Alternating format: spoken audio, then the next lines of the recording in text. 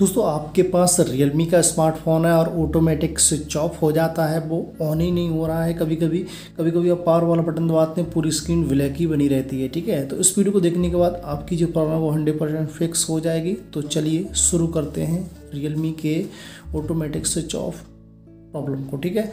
तो सबसे पहले आपको इस वीडियो को लाइक और चैनल को सब्सक्राइब करके आपको सेटिंग पे क्लिक करना है और यहाँ पे आपको डालना है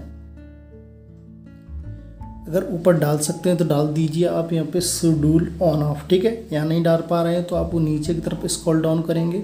यहाँ पे एक ऑप्शन आपको मिलता है कन्वेंस टूल का, ठीक है? ये आप देख सकते हैं लोकेशन के जस्ट नीचे इस पर आप क्लिक करेंगे कन्वेंस टूल पे।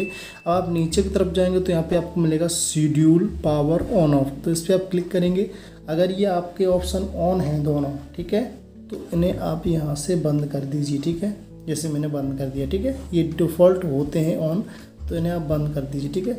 उसके बाद आपका फ़ोन इसलिए भी स्विच ऑफ़ हो रहा होगा कि आपका फ़ोन का जो भी स्टोरेज है वो ज़्यादा भरा हो सकता है, इसलिए हैंग करता होगा, इसलिए वो ज़्यादा स्विच ऑफ़ हो रहा होगा।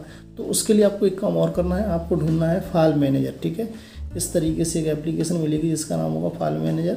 उस पर क्लिक करेंगे, ऊपर मिलेगा आपको फ़ोन स्टोरेज, इस पर क्लिक करना है। यहाँ पे आपको मिलेगा ऐप्स जैसे कि आप देख सकते हैं यहाँ पे सबसे ज़्यादा आपका जो स्टोरेज घेरे हुए है वो ऐप्स घेरे हुए हैं। तो इस पर आप क्लिक करेंगे और यहाँ पे आपके सामने बहुत सारे एप्लीकेशन आ जाएँगे, उनका आपको क्लियर कैच करना एक एक करके, ठीक है? जैसे कि मैं क्लियर कैच कर रहा हूँ, ये आप देख सकते हैं। इस तरीके से क्लियर डाटा नहीं करना है, क्लियर कैच करना सभी ऐप्स का, ठीक है? उसके बाद आप फ़ोन स्टोर में जाके जो फालतू के आपने वीडियो, फ़ोटो, जो कुछ भी है वो डिलीट कर देने होंगे, ठीक है? उसके बाद आपको एक काम और करना होगा आप जाएँगे अपने वॉल की सेटिंग में तो यहाँ पे आपको नीचे की तरफ़ चलना है तो यहाँ पे आपको मिलेगा एडिशनल सेटिंग उसके बाद आप नीचे की तरफ़ जाएँगे तो यहाँ पे आपको ऑप्शन मिलता है बैकअप एंड रीसेट का। इस पर आपको क्लिक करना है। उसके बाद जस्ट आपको नीचे की तरफ़ एक ऑप्शन मिलेगा erase all data factory reset इस पर आप क्लिक करेंगे, यहाँ पर आपको मिलेगा रीसेट सिस्टम सेटिंग तो आपको अपनी सिस्टम सेटिंग को क्या करना है? रीसेट कर देना है, ठीक है? रीसेट करेंगे, कोई दिक्कत आपको नहीं आएगी, ठीक है? कुछ सेटिंग ऊपर होती हैं जो ऑटोमेटिक ऑन हो जाएँगी, जैसे कि वाईफाई वगैरह तो उन्हें आप बंद कर दीजिए, ठीक है? ये आपको करना है, ठीक है? आपकी हंड्रेड परसेंट प्रॉब्लम सॉल्व हो जाएगी। अगर आपका बिल्कुल भी ऑन नहीं हो रहा है तो आपको क्या करना है? आपको अपना पावर वाला बटन दबा के रखना है पाँच सेकेंड तक, ठीक है? पाँच सेकंड तक आप दबा के रखेंगे, आपका फ़ोन ऑटोमेटिक ऑन हो जाएगा, ठीक है? हंड्रेड परसेंट वर्किंग है।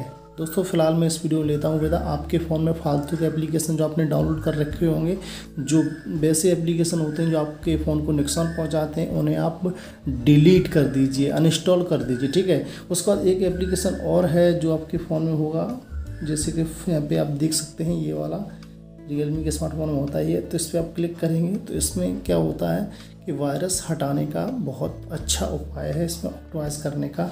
ये आप देख सकते हैं, इस तरीके से मैं कर लेता हूँ। आपको भी इसी तरीके से डन कर देना है, ठीक है? उसके बाद यहाँ पे और भी आप प्रेवसी वगैरह यहाँ पे सारी चीज़ें यहाँ कर सकते हैं, ठीक है? इस तरीके से, ठीक है? तो आपकी प्रॉब्लम सॉल्व हो जाएगी, जो मैंने आपको टिप्स दी हैं उनसे, ठीक है? लेता हूँ मैं, विदा। अगली वीडियो मिलता हूँ। जय हिंद।